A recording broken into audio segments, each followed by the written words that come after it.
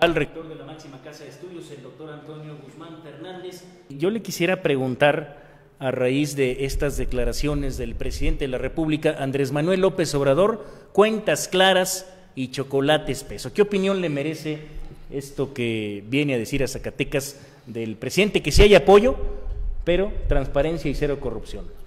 Fíjate que en ese sentido ya lo había planteado en, Morelos, a la Universidad Autónoma de Morelos, había hecho el, el mismo planteamiento.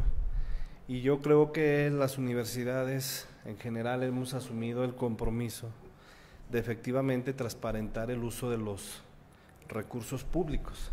Yo creo que frente a todo el escenario que han enfrentado las, las universidades por, el, por la situación de involucramiento en la estafa maestra, yo creo que en este momento la universidad tiene que dar pasos importantes en darle la confianza y la garantía, primero a la comunidad universitaria, segundo a la sociedad zacatecana y darle la confianza de que efectivamente el uso que se está utilizando en la universidad eh, se usa correctamente.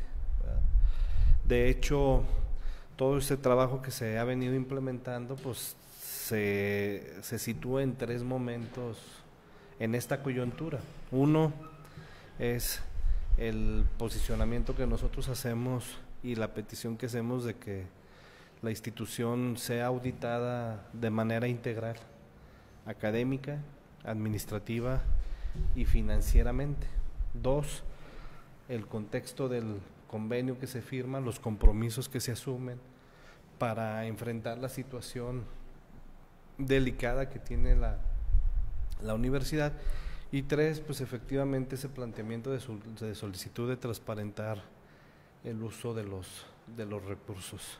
El primer compromiso que se tenía es que tienes que decir en qué te gastaste los 250 millones de pesos. Ya está en la página de transparencia de la universidad y en consecuencia en la página de transparencia de, de la SEP.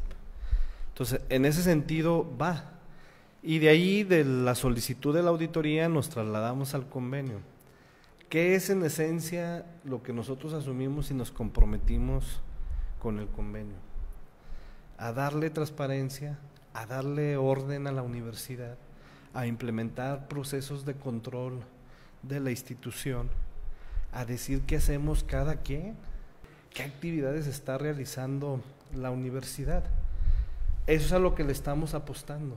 ¿verdad? ¿Qué planteas en esencia en el documento y que son acciones que puede cumplir la, la universidad?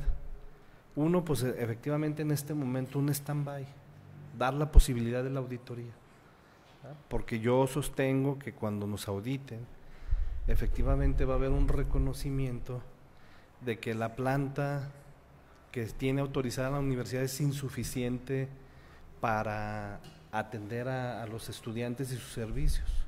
Dos, no meterle ahorita más prestaciones a los contratos colectivos. quedan, quedan como están. Que, queden como están, que se cumplen los compromisos que están y las obligaciones que se tienen de manera contractual. O sea, las prestaciones que están establecidas en el contrato colectivo son las que se van a seguir cumpliendo, mientras a algunas les encontramos el soporte presupuestal. Que, ¿Cuál es la otra? Y así de claro y abierto y de cara a los agremiados de, del sindicato y de los sindicatos. Un programa de sustitución de prestaciones. Un programa de sustitución de prestaciones para encontrarle una salida y liberación de plazas, liberación de plazas que nos permita dar respuesta a, a los profesores jóvenes que están.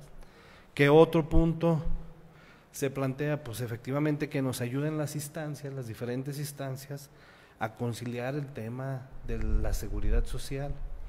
Porque después de ocho años que no se cobraba la seguridad social, con el convenio, con el convenio que se firma en el 2016, hay una obligación de la institución de estar pagando el adeudo y que nunca se soportó financieramente y que yo creo que hay una corresponsabilidad de todos, tanto del que dejó de cobrar como, eh, o sea, que no le cobraron a la institución y los procesos administrativos que tenía la, la institución. Y de la misma manera lo que tenía que ver con el sistema, con, con el ISR, con el entero del, de los impuestos que pues lamentablemente a mí me tocó como administración enfrentar dos problemas estructurales en las condiciones más difíciles.